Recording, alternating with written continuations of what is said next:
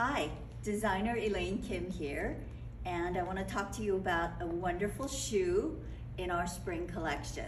It's the Halmanera Slingback in this pale pink patent leather. Um, do you notice the great sculptural heel? Um, it's got the elongated point, and the vamp is a square, which is a kind of a nice uh, retro detail.